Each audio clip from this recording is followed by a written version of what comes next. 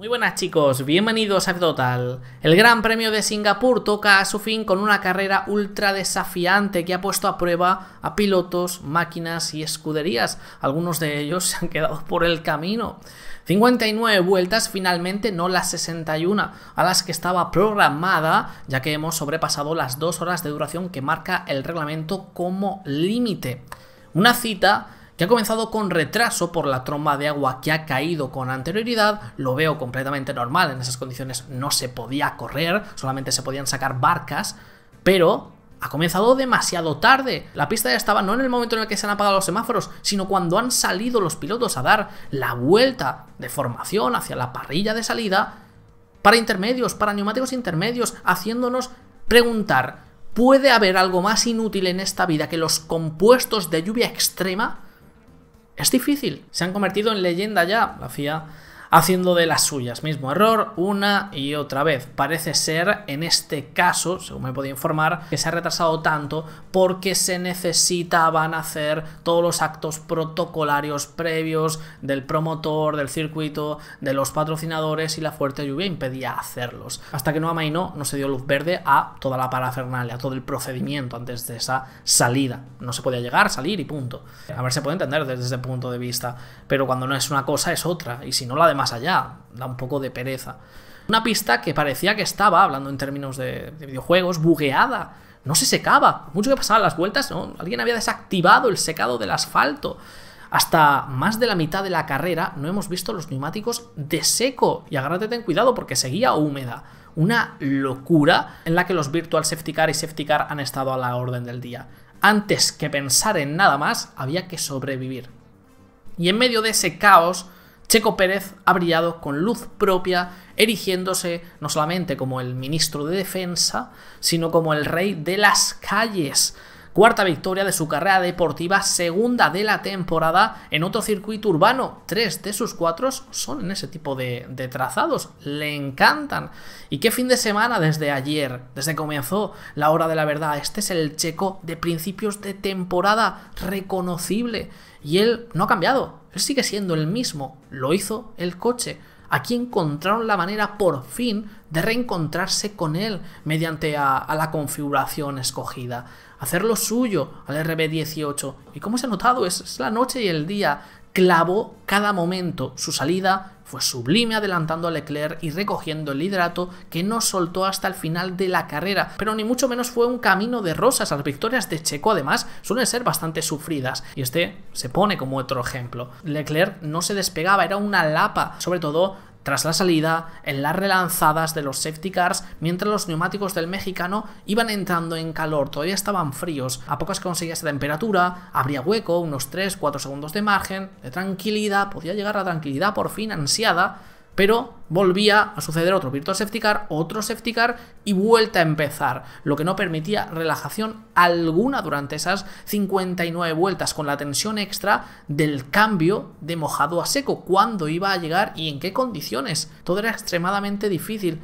En este sentido, Espectacular Red Bull desde el muro en el lado estratégico, una vez más parando en la vuelta óptima para meter los neumáticos medios, los neumáticos de seco, hacer ese cambio tan vital en una carrera como esta, que solamente iba a ser una parada y tenía que cambiarse de intermedios a seco ni una más, ni una menos, en la vuelta perfecta. Y ya, a partir de ahí hasta el final, sacando una gran distancia a Leclerc, su salida del pit lane, por ello cerca de los 10 segundos, pero apareció otro safety car y de nuevo lo reiniciaba todo.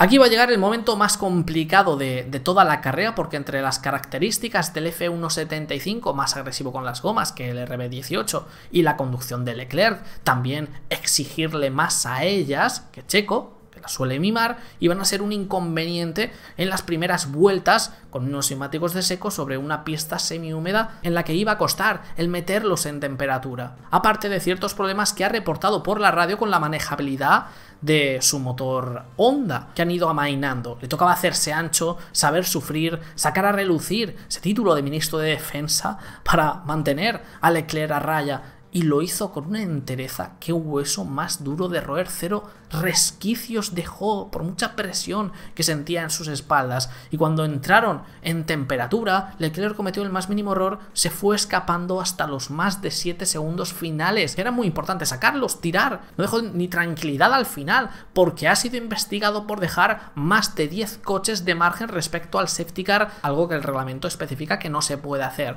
pero finalmente se queda en 5 segundos más una reprimenda que no afectan al resultado final y da más mérito a su victoria porque encima la ha hecho con una sanción. Su ritmo fue asombroso junto con Leclerc muy superiores al resto de la parrilla y constante, daba igual la condición, volviendo ese mimo a las gomas tan característico del, del, piloto mexicano. Ha dado gusto ver esa gestión. Atacó en la salida efectivamente, se defendió como un león y aguantó la presión de Charles Leclerc como si no fuera nada.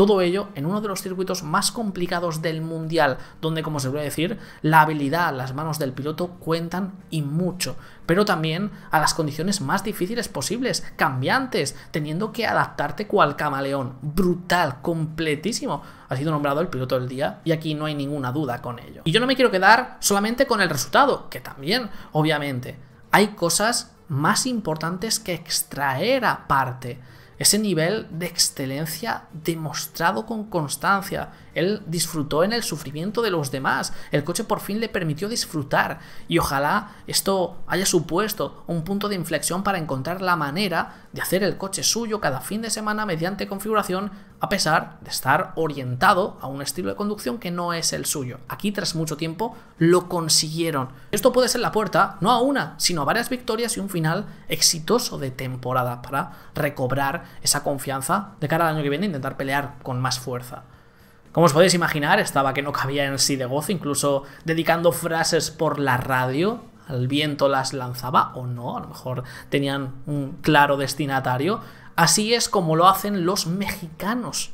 Mientras toda la cúpula de Red Bull, Helmut Marco incluido, lo, lo, felicitaba con mucha efusividad. Lo felicitaban por el que él ha denominado el mejor rendimiento de su carrera deportiva. Y por lo mostrado, seguramente lo haya sido.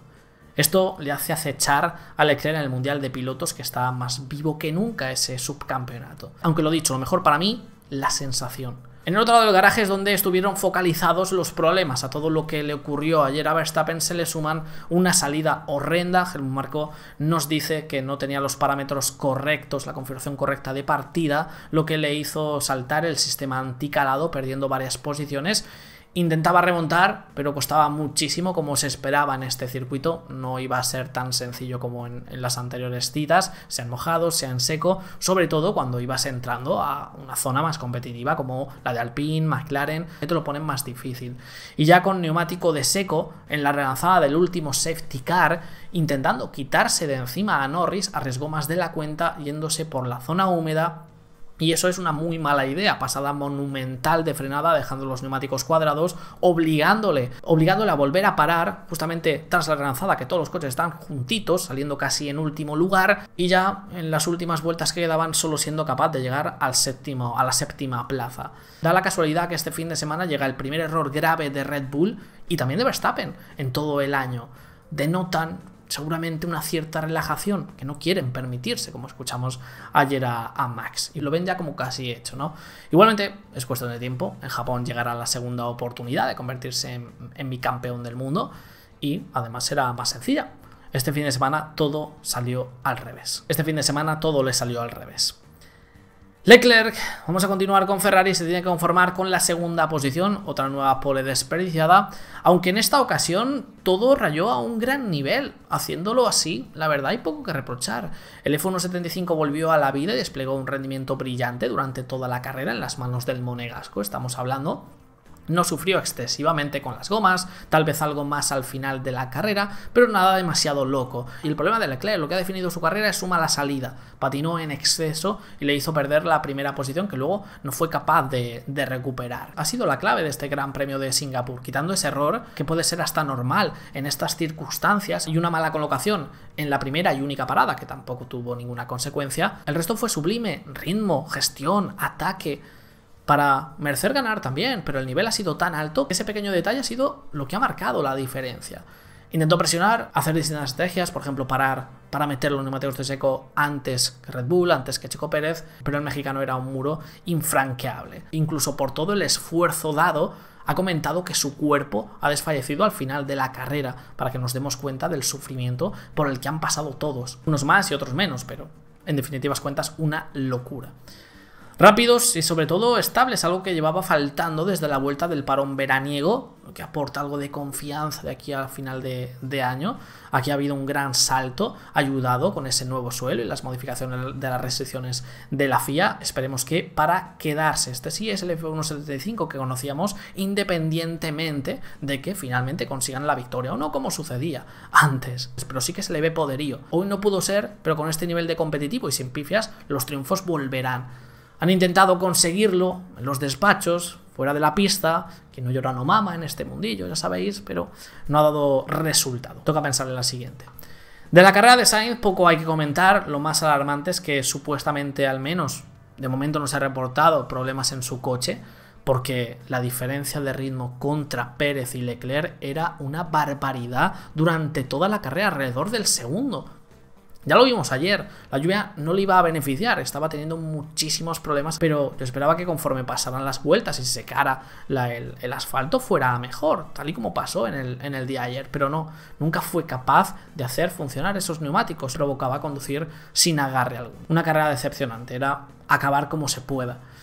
No pudo ser la positividad completa en el box rojo, al menos meten mucha distancia a Mercedes para afianzar el segundo lugar de constructores. Continuamos con la zona intermedia de la parrilla McLaren, qué carrerón de los hombres de naranja. Lando Norris terminando cuarto, aprovechando cada oportunidad, algunas producidas por él mismo que se le presentaban para afianzarse en la parte alta de la tabla. En la salida adelantó a Fernando Alonso, lo mantuvo a raya hasta el abandono del, del asturiano, del error de Hamilton y más tarde de defendiéndose del intento de adelantamiento de Verstappen inteligentemente, dejándole la parte húmeda. Si me adelantas, pues métete por la parte húmeda, así provocando ese error, otra plaza para él y mucha calma a partir de ahí, porque por delante no había nada por lo que luchar y por detrás estaba su compañero que le iba a hacer de parapeto con un ritmo bastante menor, ha terminado a 32 segundos de él. A llevar el coche al garaje no es un podio, pero casi cerquita de él, este excepcional botín de puntos. El jefe maestro le ha dado fuerza y la decoración especial, suerte. Lo de Ricciardo explota la cabeza.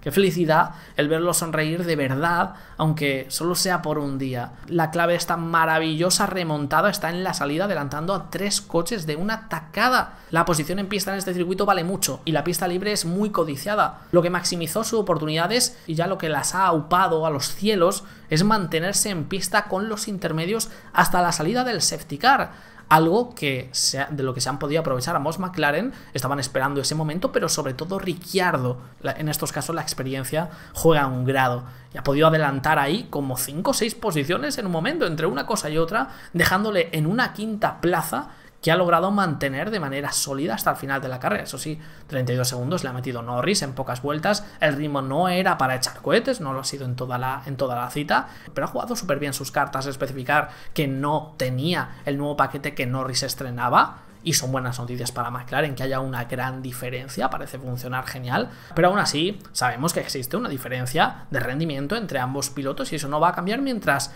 Daniel siga en el equipo. Pero poco negativo se le puede decir hoy de decimosexto a quinto, bestial. Entre ese resultado, cuarto y quinto, y los abandonos de Alpine le arrebatan la cuarta posición del Mundial de Constructores. Importantísimo esto. ¿Y qué momento? Justo tras estrenar el nuevo paquete que les dará un gran impulso. La semana que viene también contará con él el piloto australiano. Seguimos con Aston Martin, esperábamos un espectacular ritmo de carrera tras lo visto el viernes de los de verde, y así ha sido, permitiéndoles remontar sin excesivas ayudas externas, ya estaban séptimo y octavo, muestra de ello antes del safety car, que incluso les perjudicó porque permitió a Ricciardo salir por delante de ellos, de los dos, ya que fueron en tándem en sobre todo la parte final de la carrera. Al inicio Vettel se despegó con una salida meteórica adelantando a cinco coches del tirón dejándonos los destellos finales de un cuatro veces campeón del mundo. Se nos cae la lagrimilla, llegando ya el momento de despedirse. Para enmarcar con ese vuelta a vuelta fabuloso y aprovechándose de los problemas y errores rivales, sumado a una parada que llegó en el momento óptimo para los dos pilotos. Gran trabajo de los estrategas del equipo inglés. Les mandaron, tras estabilizarse de nuevo la carrera sin el safety car, a la sexta y séptima, que solo Verstappen pudo quebrar adelantando a Vettel. A Stroll no, no lo cazó y mantuvieron bien a raya Hamilton detrás para llevarse a casa un gran botín de puntos. Tienen que solucionar sus problemas en clasificación porque un nuevo mundo de competitividad se va a abrir ante ellos. Aunque lo de ayer fue un error estratégico, no falta de rendimiento como tal, rendimiento parecían tenerlo. En carrera están casi para competir por ser el mejor del resto. Siguen progresando, siguen avanzando. Y oye, gran momento. Quiero destacar lo que estaba atravesando Lance Stroll. Suma. Ascienden al séptimo lugar del campeonato, vuelven al camino, vuelven a la senda positiva. El sueño de Mercedes de conseguir su primera victoria esta temporada 2022 se torna en una completa pesadilla. Día para olvidar en ambos lados del garaje. Hamilton perdió posición en la salida, lo que lastró sus opciones porque quedó atrapado tras Sainz, ya hemos comentado el ritmo que ha tenido el piloto español. Además, en el inicio de la misma, el W13 no era capaz de hacer funcionar las gomas y cuando lo hizo, porque en este caso sí que hubo una evolución, tenía ese escollo delante al que era imposible sobrepasar. Eso llevó a una gran frustración en el piloto inglés y en uno de esos intentos por adelantar perdió la referencia y se pasó de frenada justo al término del primer sector yéndose recto contra las protecciones. Un error bastante grave de Luis. Pudo continuar, pero ya con el alerón dañado, siendo obligado a entrar para cambiarlo. Justo después de hacer su parada, sale un safety car, mala suerte que sea justo tras entrar él, que le perjudica y le deja en más tráfico para en la parte final de la carrera el W13 tampoco ser capaz de hacer funcionar los neumáticos medios. Así que a ese tráfico, aunque fuera la zona intermedia de la parrilla, no iba a conseguir poder adelantarlo. Hamilton comentó al equipo que debían haber ido a, a por los neumáticos blandos porque el coche con los medios era inconducible. Pero al fin y al cabo, si nos vamos al origen de todo, viene precipitado de una salida no muy allá y ese error que le hizo ir contra las protecciones. Luego, los altibajos de rendimiento en el coche le hubieran impedido igualmente el pelear por nada más. Pero una tercera posición sí que se podía haber conseguido perfectamente. Hoy Hamilton faltó a la cita. Y en el otro lado del box, peor aún, Russell tuvo que salir desde el pit lane ya que Mercedes aprovechó esa mala clasificación y la posible dureza de la carrera para penalizar. Bueno, si hay que hacerlo en algún momento, mejor en esas situaciones. Viendo que era incapaz de avanzar con fluidez, después de las primeras vueltas se arriesgaron a montar los neumáticos de seco cuando todavía la pista no estaba con ello. Pobre George, un milagro que no cometiera graves errores y se estampara, acabara ahí su carrera, pero igualmente estaba destruida con el safety car que salió a posteriori, pues a lo mejor se podía pensar en algún puntillo. Igualmente iba a ser muy difícil. Más aún porque él mismo se terminó de hundir esas opciones con un toque a Schumacher innecesario por no mantener su línea, acorralando al piloto alemán cuando intentaba adelantar el error del inglés. Errores de sus pilotos y un monoplaza con un gran potencial, pero una ventana de trabajo estrechísima que no daba lugar a la adaptación tan necesaria en una cita de este estilo oportunidad perdida, a pensar en la siguiente. Nos encontramos con otro domingo Made in Alpha Tauri, un episodio más de cómo tirar grandes clasificaciones por el retrete. Sunda cuando estaba en batalla en las primeras vueltas cometió un error que le hizo perder tres puestos y posteriormente se ha estampado contra las protecciones siendo demasiado optimista en las primeras vueltas con los neumáticos de seco. Además un golpe bastante fuerte frontal, pero por fortuna no ha tenido consecuencias. Ahí ha acabado su carrera. Y Gasly, que tampoco iba muy sobrado en cuanto a ritmo, el AT03 no ha brillado en exceso en ese sentido hoy, pero conseguía mantenerse bien. Solo necesitaba que Alfa Tauri clavara la parada para terminar por encima de los Aston Martin, que es un sexto lugar. Puntos brutales que serían para el equipo, pero entraron antes de lo debido, perdiendo mucho tiempo y pasando a la décima posición que finalmente ocupó el piloto francés y se queda muy corto para lo que podía haber sido. Minimización de oportunidades, esa es la, religión que practica Alfa Tauri. Al menos el rendimiento fue mejor de lo esperado en líneas generales en un circuito de este estilo, apoyados en ese nuevo alerón, por destacar cosas positivas. Alfa Romeo termina un gran premio de Singapur donde nunca pudo mostrar su potencial a la hora de la verdad, solamente el viernes en condiciones de seco, que no hemos vuelto a, nos ha vuelto a repetir. por unas condiciones cambiantes a las que no se ha sabido adaptar. Bottas llevó una carrera lineal, sin grandes altibajos, pero el ritmo solo le permitía mantenerse y esperar errores rivales. Era de los más lentos que se mantenían sobre el asfalto, no había más. Y la carrera de Zhu terminó cerca del comienzo tras Latifi estamparlo contra el muro en una lucha que estaban llevando ambos, lo que tampoco nos habla muy bien del ritmo que estaba desplegando el piloto chino en su primera aparición en, en Singapur. El C-42 dio destellos, pero faltó solidez demasiado difícil todo. Haas tuvo oportunidad de sumar puntos, pero todo se fue al garete en las primeras vueltas. Mala salida de Magnussen, pecando una vez más de ser demasiado agresivo, descolgándose el endplate de su alerón delantero, una vez más, obligando a la FIA a mostrarle bandera negra y naranja que te obliga a cambiar esa pieza que es un peligro para el resto de corredores, porque se puede desprender en cualquier momento. ¿Y cuántas veces le han pasado ya este año con esta 3. No es algo muy común. Se debe controlar un poco porque no siempre vale la pena, y menos si estás batallando, porque estaba ahí con Verstappen y fue muy agresivo con él. Ya su carrera, con una parada extra, estaba destrozada, aunque los safety le daban algo de esperanza, al menos de reengancharse. Pero con la posición en pista, siendo tan importante aquí, poco pudo hacer para avanzar, finalizando en una triste decimotercera posición.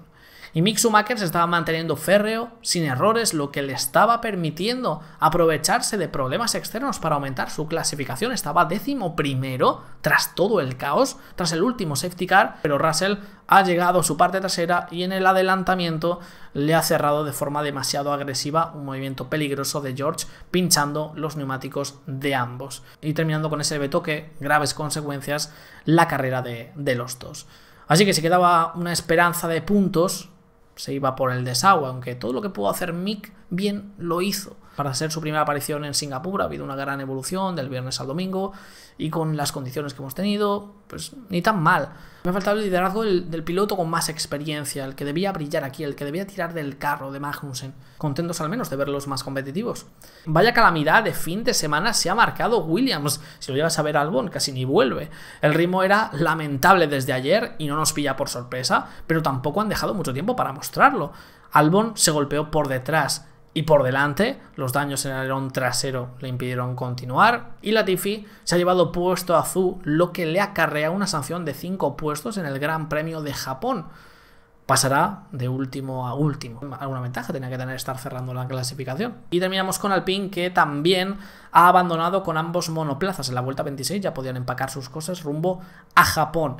Los dos problemas en la unidad de potencia y Alpine reporta incluso que puede ser el mismo. No se puede tener más mala suerte que Alonso. ¿Cuántos puntos habrá perdido ya por causas externas este año? Porque él, una vez más, iba por un grandísimo resultado. Ayer su clasificación fue espléndida, luchando con Norris. Su salida es verdad que no ha sido brillante, ya que ha perdido la posición con el, con el inglés, pero estaba intentando recuperarla, luchando por ser el mejor del resto, que aquí era un cuarto lugar, un resultado impensable en otras condiciones para estos equipos una oportunidad inmensa. Y era un cuarto o era un quinto si finalizaba por detrás de Norris, porque los dos estaban muy por encima de los que venían por detrás del Red. Una oportunidad inmensa, tanto individual como colectiva, intentando mantener a raya Verstappen como podía, divirtiéndose, este tipo de carreras que tanto le gustan, pero su motor ha dicho basta.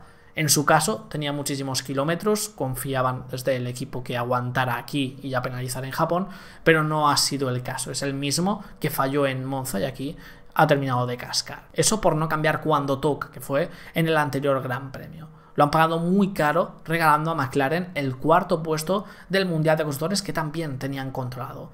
Pero es que, bueno, tampoco es garantía de mucho el tener motores frescos, ya que se ha roto el de Ocon y este era más nuevo cuando estaba intentando remontar. Vaya momento eligen, el peor justo cuando McLaren estrena un paquete enorme aerodinámico. Hay que aprovechar cuando están heridos. Ahora a los franceses les va a tocar sufrir en esta parte final de año, porque encima habrá penalizaciones en camino. Alonso mínimo en Japón le tocará y esa oportunidad la puede aprovechar McLaren. Al menos el rendimiento del A522 con el nuevo suelo en las manos de Fernando Alonso invita al optimismo. Pero vaya faena. Dejadme en los comentarios qué os ha parecido este gran premio de Singapur. Recuerdo que en la descripción tenéis el link de Instant Gaming, el patrocinador del canal. Cualquier videojuego que necesitéis en formato digital lo tendréis ahí al mejor precio y aparte de aprovechar ese precio, apoyaréis el canal comprando desde ahí. Tenéis oferta que se va renovando día tras día de todas las plataformas, así que echarles un vistazo si os interesa. Y también el sorteo que estamos organizando con ellos del videojuego que vosotros elijáis. El que queráis de toda la tienda os lo podéis llevar de forma completamente gratuita seguramente ya se conozca cuando estéis viendo este vídeo, el ganador del mes pasado, el mes de septiembre, echarles un vistazo y en nada se abrirá el sorteo de este mes de octubre. Así que estad muy atentos y participar si es que no lo habéis hecho todavía. Dejadme en los comentarios qué opináis, suscribíos, dejad vuestro like y nos vemos en el próximo vídeo chicos. Hasta luego.